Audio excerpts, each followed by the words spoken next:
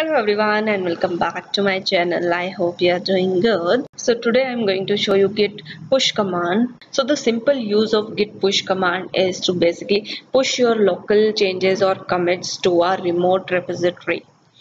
That's the simple use of it.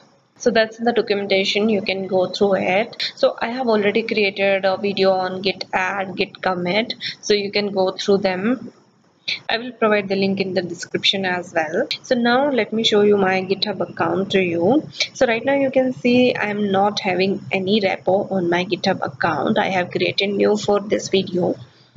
So let me just give you a quick recap. So I have created this four files and uh, I have just uh, added uh, this to my index and I have committed my local changes till now. So for that I have used git add dot and uh, for commit I have used git commit with message. So now let me show you git status as well.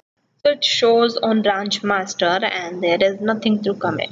So let me show you git log as I have already committed my local changes. So you can check your local commits using git log. So here you can see I have committed two times so let's say if you're pushing for the first time so just make sure to check your remote origin that it's a set or not. And also check your your branch and your remote branch is same. And then uh, configuration that from which account you are pushing.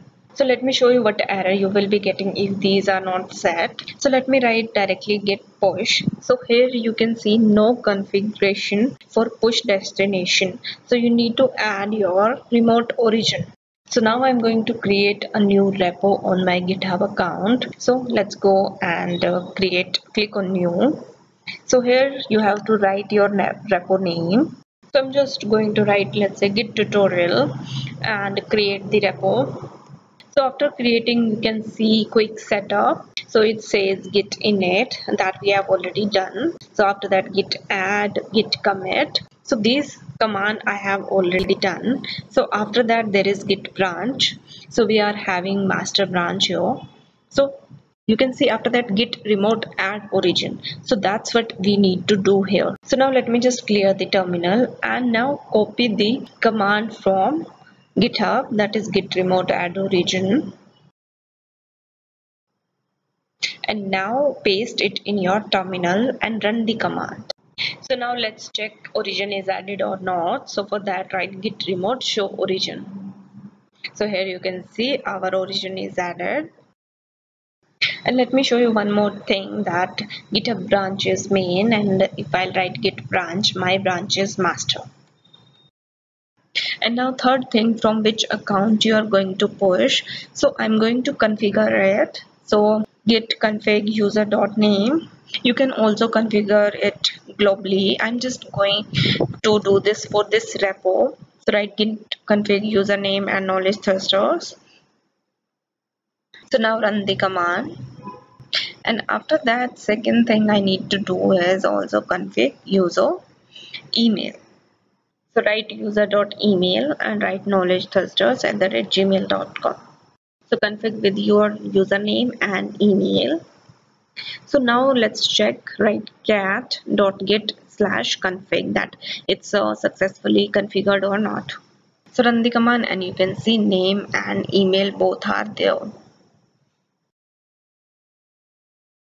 So now let me push. So write git push. So now you can see it says that you have to set it upstream. So for that let's um, write another I'll not say another command but with option I'm going to push now. So now write git push minus u origin master. So minus u is for option to set upstream. So now run this command.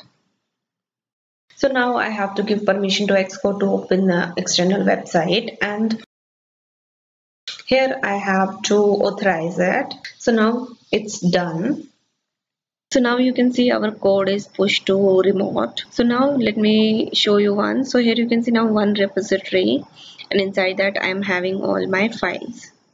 So that's how you can push your code to a remote repo. So that's all in this video. I hope you like this video. If you have any doubt related to this topic then you can comment down below. So thank you so much for watching. Please like share and subscribe to my channel